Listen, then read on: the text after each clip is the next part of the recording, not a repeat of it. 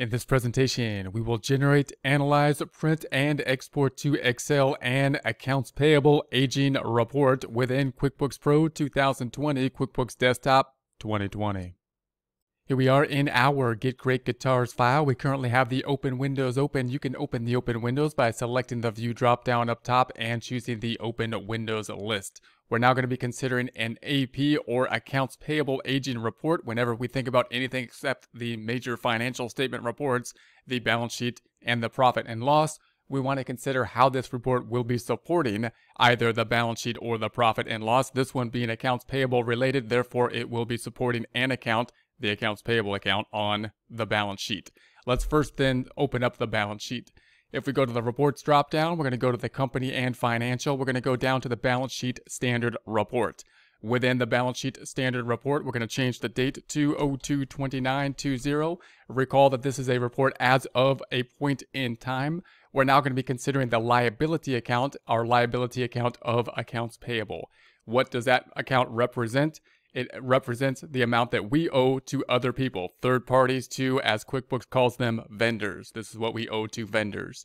So that's who we purchase from, either services or possibly inventory to the vendors.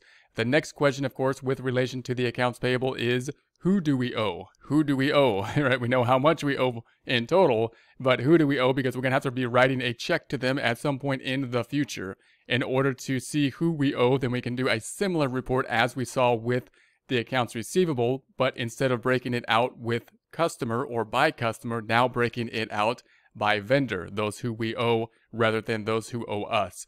We also might want to know whether the amount we owe is, is current or the amounts that we owe are current or, or past due so that we can see which ones we want to pay or which are the most immediate concerns for us to pay.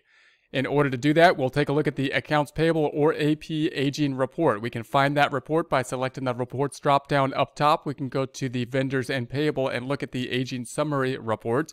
Or if this isn't as familiar a report, we can go into the report center.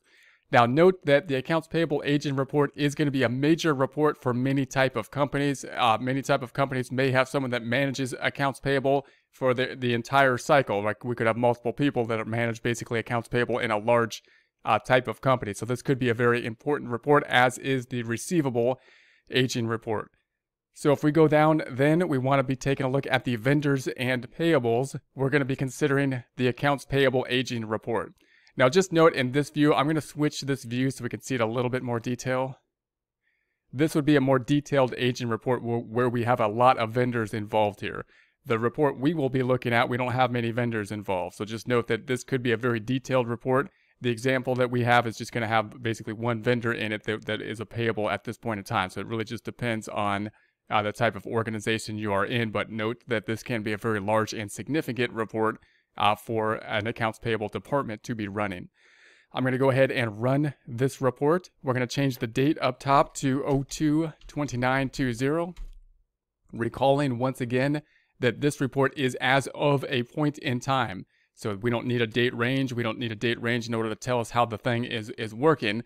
It's as of this point, as of 229, where do we stand? Who do we owe and how past due are the amounts that we owe to them? We have a similar type of setup with the accounts receivable report. We have the total on the right. Now, obviously, we only have the one vendor here, so this is going to be fairly simplified report in that it would be just basically more vendors, just as we saw with the receivable report, but this will give us the idea of it.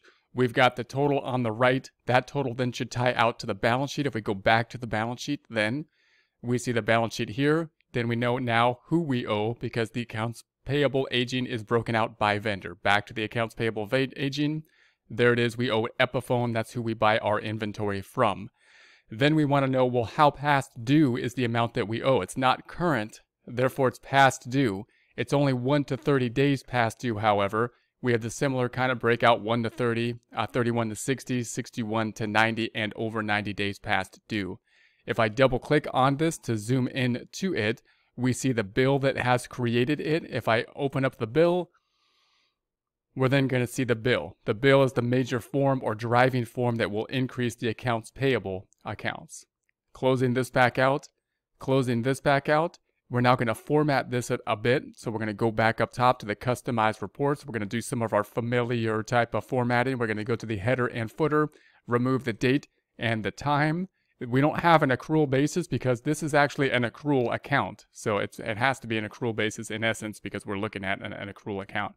And then we're going to go down to the extra footer, type Smith CPA, and that's going to be our mock CPA firm. Then we'll go to the fonts and numbers. Within the fonts and numbers, we're going to make any negative number have parentheses. I don't think there are any, but if there are, we'll make them with parentheses and we will make them red. And we're going to remove the cents, remove the pennies, remove the change with the without cents. Then we're going to say OK. There we have it. That's going to be our report. We're going to then print this as a PDF file. We're going to export it to our existing Excel workbook, and then we'll make that workbook create a PDF file with all reports that we have created thus far. So we're going to go to the print up top. This time I'm just going to use the save as PDF format. We're then going to locate where we want to put it. I'm going to put the box right underneath here. I'm going to go into the financial reports. I'm going to then name this file the AP. Notice I can't have a dash usually in a Windows-based program. So I'm just going to say AP and I'm just going to say aging 2020. There we have that. Now I'm going to export it to Excel. We're going to do that by selecting the Excel dropdown. We're going to create a new work worksheet. We're going to put that worksheet into an existing workbook, browsing for that workbook. There's the workbook we want, double clicking on it and export. Here we have it. We're going to do some of our normal type of formatting. I'm going to go all the way to the left because I'm going to have that new sheet that popped up. I'm going to click on that new sheet, right click on it. I'm going to delete that instructional sheet and delete that. We don't want that. I'm going to go all the way to the right now. I'm going to grab that sheet that we just picked up. I'm going to left click on it and then drag it to the right so that it's going to be the latest sheet that we have then created. We're then going to go to the page layout view. Within the page layout view, we're going to adjust the freeze panes. We're going to do that by going to the view tab up top, Windows group, remove the splits. So we're going to remove the splits there. Then we can name it while we're here. I'm going to double click on the sheet name. I'm going to call it an AP aging. AP aging. Let's call it that. Then I'm going to go back to the normal view. We're now going to create the PDF file with all the reports in it thus far. So we're going to go to the File tab up top to do that. We're going to go down to the Printing tab. Within the Printing tab, I went to the Sharing tab. That's not what I wanted. I'm going to go to the File tab once again. We're going to go to the Printing tab. Then we're going to make the print the entire workbook. Then we're going to see that it does so does do so. We have 16 pages. If we scroll through the 16 pages, they look like they should be good.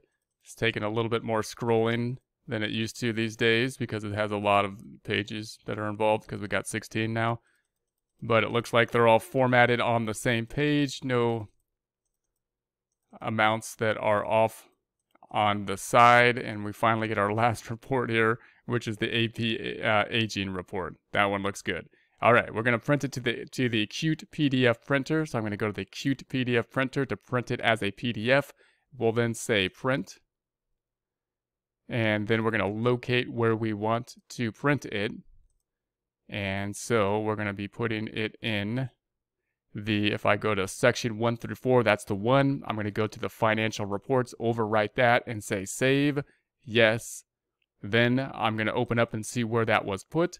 It's in section 1 through 4. This I'm going to delete now because we've adjusted it. And then in the files, we can either add all this if we're going to give this to an email to somebody, which is a lot of detail, or we can take that file and zip it by right-clicking and zipping the file, and that will allow us to put it into one email in a zipped format, or we can send the Excel file, or we can send the PDF file that we have created from the Excel file having all the documents in one sheet, including the balance sheet, the profit and loss, the comparative balance sheet, the summary balance sheet, the income statement, the comparative profit and loss, the vertical analysis profit and loss, and then the graphs, sales graphs, expense graphs, then the sales by customer summary, and the sales by item summary, the accounts receivable aging report, and finally the accounts payable aging report.